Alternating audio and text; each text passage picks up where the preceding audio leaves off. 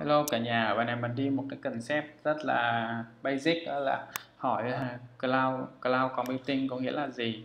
Thì uh, theo IDS định nghĩa là cloud computing có nghĩa đầu tiên là on demand delivery of IT resources. À, on demand là sao? À khi nào tôi tôi có nhu cầu, tôi sử dụng là theo nhu cầu của bạn là bây giờ à, bây giờ là tôi cần 10 10 10 GB lưu trữ thì à, cho tôi 10 GB lưu trữ. Tôi cần 10 con máy ảo cho tôi 10 con máy ảo.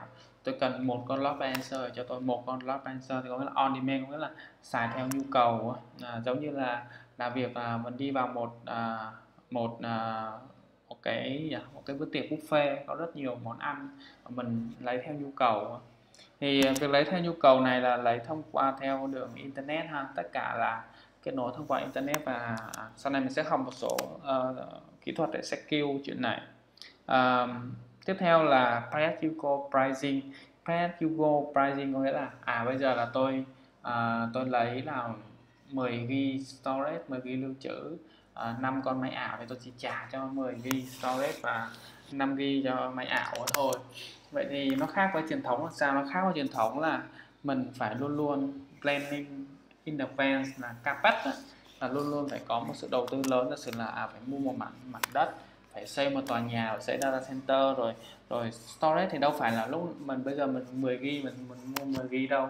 Thậm chí mình phải mua trước cho một năm 3 năm thậm chí 5 năm 10 năm cho một số thứ nào đấy.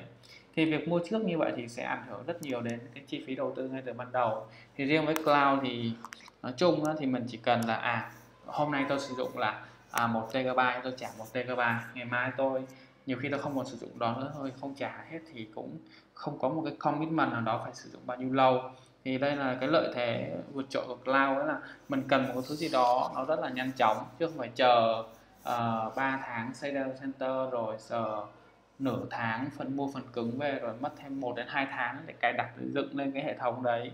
Thì đó là điều rất là rất tham và nhiều khi xây xong được cái hạ tầng xong ấy thì lại không còn nhu cầu sử dụng về cái à, công nghệ này nữa. Thì đối với cloud thì nhiều khi à tôi cần một con máy chủ này nó có uh, sức mạnh xử lý là giả sử là là 32 CPU hay là 84 64 GB RAM gì đó.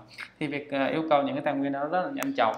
Và nếu mà khi mà không có nhu cầu sử dụng nữa thì mình có việc là à terminate nó đi và mình không phải trả phí cho việc đó nữa. Thì đây là một cái lợi thế mà vượt trội so với cloud. Thứ nhất đó là về tính uh, tốc độ và tính linh hoạt. Đó là mình sử dụng là rất khi request yêu cầu rất là nhanh và linh hoạt trong việc sử dụng thì mình sẽ có một bài nói riêng về những cái lợi ích khi sử dụng trên cloud nói chung và của AWS nói riêng ha. Cảm ơn các bạn.